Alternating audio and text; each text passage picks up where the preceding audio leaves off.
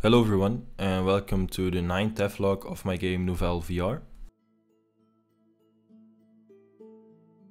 Today I'm going to show you what I have been doing the last few weeks.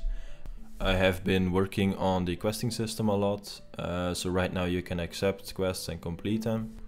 So the way the system works right now is you just walk up to a NPC. When you open up the uh, dialog you will have the option right here if there is a quest available. So as you can see this NPC doesn't have any quest. So I can just uh, keep using the normal story dialog here. But you can also take the most right option to go to the questing dialog. So this will switch to the normal dialog. So nice to meet you. And when I take the most right option, I will go to the questing dialog. So right now I don't have any quest accepted yet. When you do have a quest, it will turn up in your inventory. And here will all your scrolls be to review the quest objectives you have to do. And if I accept the quest right now, is there something I can help with? That's very nice of you. And can you fetch me 5 green gems? Sure, no problem. And the quest is accepted. So right now, if you check your inventory, I have a quest scroll. I can just take it out and here I can review what I have to do. In the uh, future I will add a check mark to every objective so that you know uh, what you already have done for the quest. When the uh, quest is in progress, you can always go back to the NPC. It has some unique dialogue when a quest is in progression.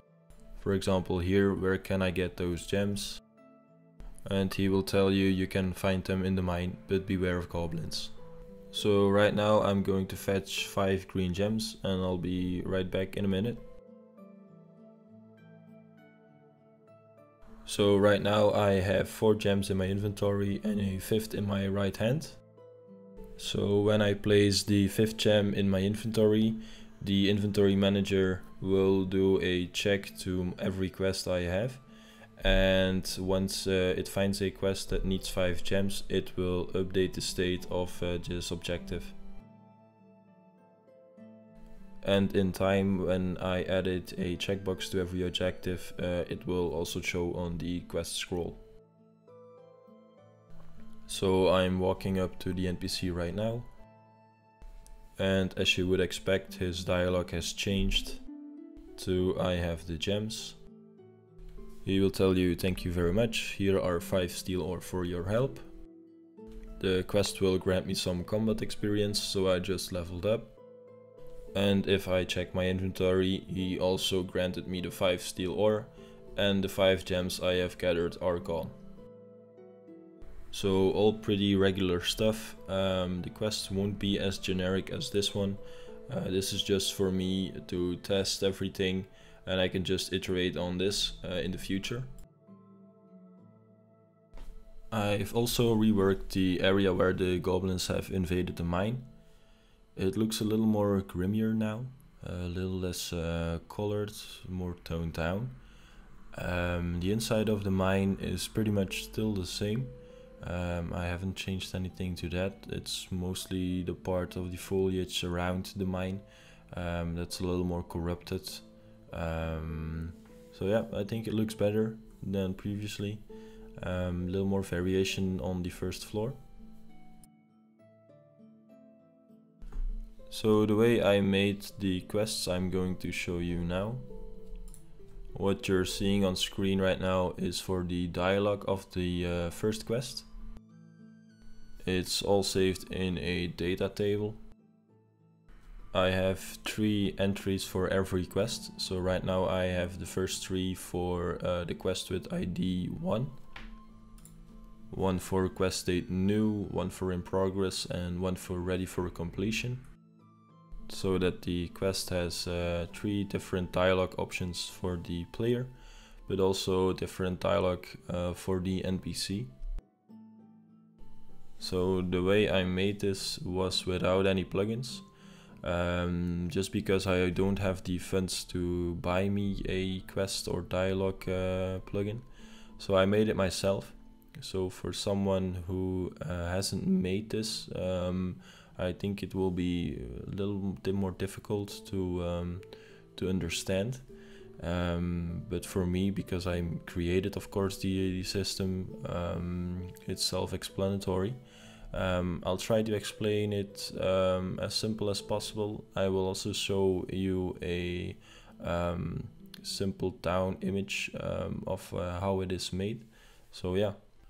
So these are the two dialog lines for the NPC uh, in the new state. So, oh, that's very kind of you, and can you fetch me? Um, and the quest will start with uh, no dialogue for the NPC. It will show you is there something I can help with, which has a dialogue options pointer of 1. And this will go back to the NPC dialogue and it will check uh, what uh, dialogue has ID 1. So in this, uh, it's the first option in the array. So it will show you, oh, that's very kind of you. And um, this will also load all the three options for the player with ID 1 showing here. And this will show you nothing, continue and nothing. Uh, when I select the continue option, it has a pointer of 2 this will load dialog line ID 2 and it's can you fetch me 5 green gems and this will in time load the 3 new options with dialog option as ID 2. 0, sure no problem, not right now. And when I select sure no problem, it has a pointer of 500 and in my code it will trigger the accept quest. Here is an image um, for what I just explained, how this all works.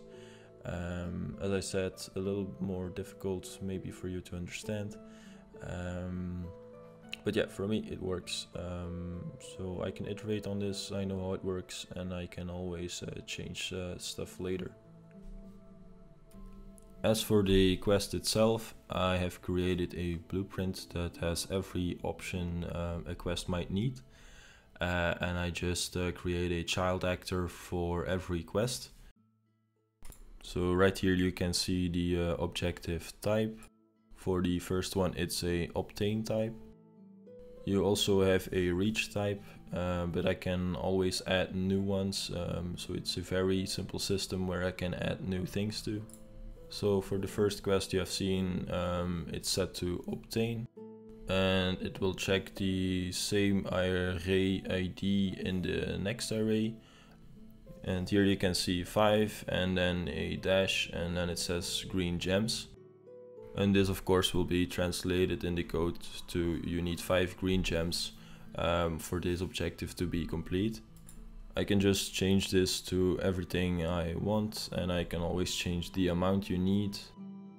And then in the next array it also has a objective state uh, so this will track if the quest uh, objective uh, is in progress or ready for completion.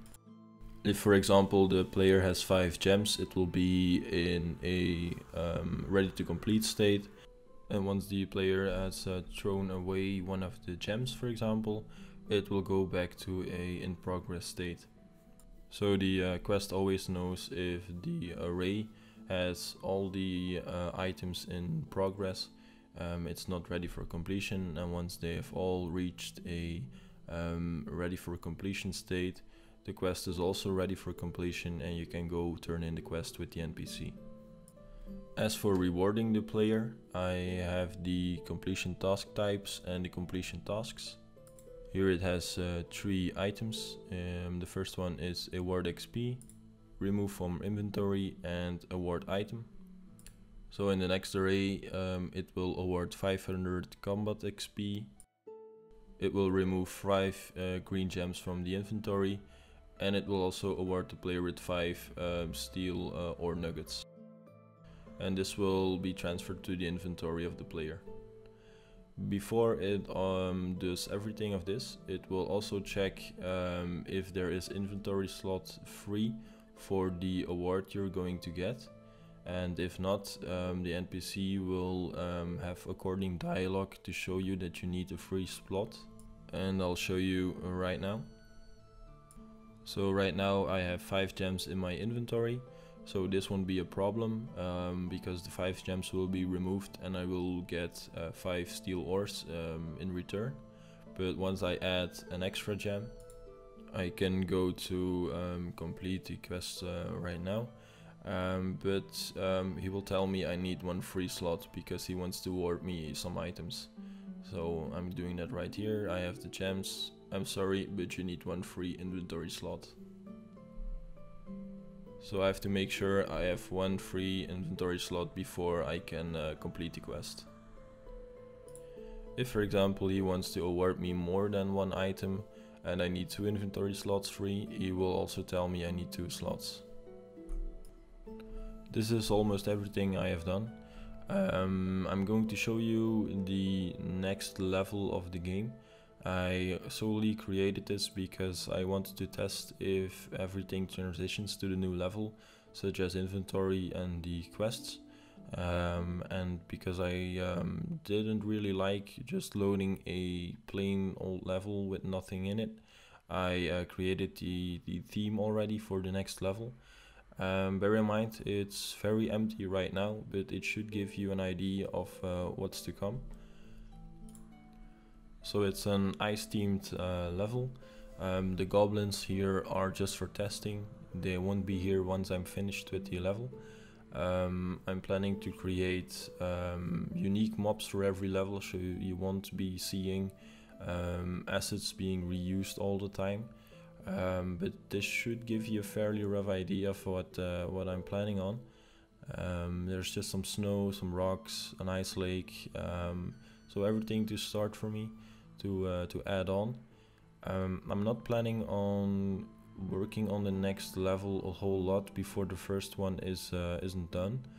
Um, but uh, the thing is, once I created a uh, demo, um, the first two levels should be fitted with quests and, and mobs, um, so you have a rough idea of, um, of how the game would uh, would play. Um, so that this would be it. I uh, truly hope you uh, enjoyed this devlog. Um, I also have a Twitter account where you can follow me. I post more updates there regularly. Um, it should be on screen right now, and I also have a link in the description.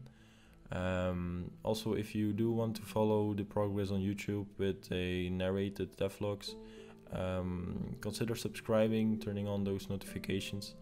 Um, I truly am glad you watched this video and I'll see you in the next devlog.